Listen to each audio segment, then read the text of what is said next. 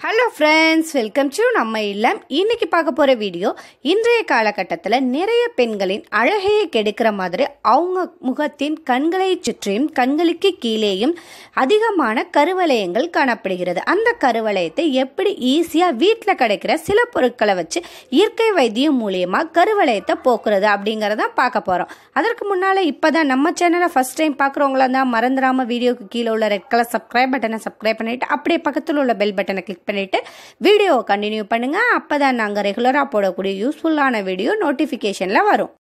கருவளையம் வந்துவிட்டாலே முக அழகே பொலிவிழந்து காணப்படும்.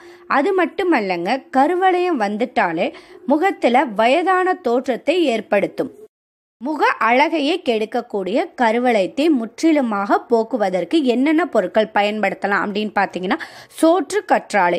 இயற்கையாக கிடைக்கக்கூடிய சோற்று கற்றாழையோட ஜெல்லை மட்டும்தான் இதற்கு பயன்படுத்தணும். சோற்று கற்றாழையோட ஜெல் ரெண்டு ஸ்பூன் அளவு எடுத்துக்கங்க. அதுக்கப்புறமா கஸ்தூரி மஞ்சள் தூள். கஸ்தூரி மஞ்சள் தூள் ஒரு ஸ்பூன் அளவு எடுத்து நல்லா மிக்ஸ் பண்ணிக்கங்க. அது கூட அது கூட சுத்தமான விளக்கெண்ணெய் எடுத்துக்கங்க. விளக்கெண்ணெய் வந்து ஒரு ஸ்பூன் அளவு மிக்ஸ் பண்ணிக்கங்க. மிக்ஸ் பண்ணி எடுத்த இந்த பேக்கை இரவு தூங்குவதற்கு முன்னால் கண்களுக்கு கீழேயும் மேலேயும் உள்ள கருவளைங்கள் மீது தடவி விட்டு தூங்குங்கள். காலையில் எழுந்து குளிர்ந்த தண்ணீரில் முகம் கழுவிடுவாங்க இதை தினமுமே தொடர்ந்து ட்ரை பண்ணி பாருங்க.